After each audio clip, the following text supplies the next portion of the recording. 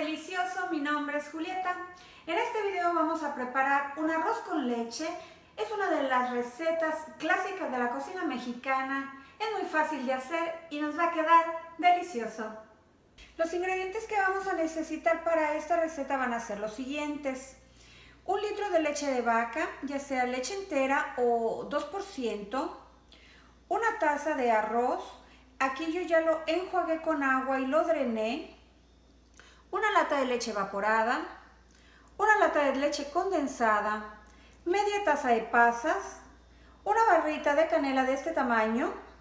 Y opcional un poco de nuez. A mí me gusta comer el arroz con leche con pasas y nuez, pero si tú nada más tienes las pasas, las nueces las puedes omitir. En la estufa a fuego medio puse una olla pequeña con tres tazas de agua a hervir. Aquí voy a agregar el arroz. Lo voy a tapar y voy a dejar a que se precoza por aproximadamente de 10 a 15 minutos o hasta que el agua casi se consuma. Mientras el arroz está cocinando en el agua, en otra olla a fuego bajo, voy a agregar la leche, la leche condensada, la leche evaporada, la barrita de canela. Mezclar todo muy bien y voy a empezar a calentar las leches a fuego bajo mientras el arroz está cociendo en la otra olla siempre cuidando que la leche no se tire. A mí me gusta usar una olla bastante honda para que cuando la leche empiece a hervir y haga espuma, sea menos probable que se nos tire. Aquí ahorita todavía yo la tengo a fuego bajo.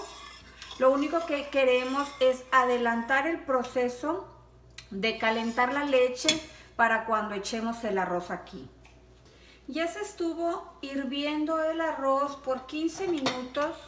Si te fijas, el agua prácticamente ya se secó. Lo que vamos a hacer es apagar la estufa y vamos a agregar este arroz a las leches con mucho cuidado. Vamos a mezclar y a la leche le vamos a subir a fuego medio. Hay que tener mucho cuidado de que la leche no se nos tire. Recuerda que cuando hierve hace espuma y tiende a tirarse. Una vez que el arroz ya empezó a hervir, le voy a bajar al calor de la estufa a fuego bajo. Ya pasaron aproximadamente 10 minutos. En este momento vamos a agregar las pasas. Mezclamos y vamos a dejarlo que siga hirviendo. Ya pasaron 20 minutos desde que el arroz está cocinando en la leche. Ya está listo, ya se terminó de cocinar. Voy a apagar la estufa y ya está listo para servirse. Así caliente sabe muy bien. Yo voy a agregar unos pedacitos de nueces en la parte de arriba. A mí me gusta que también tenga nuez.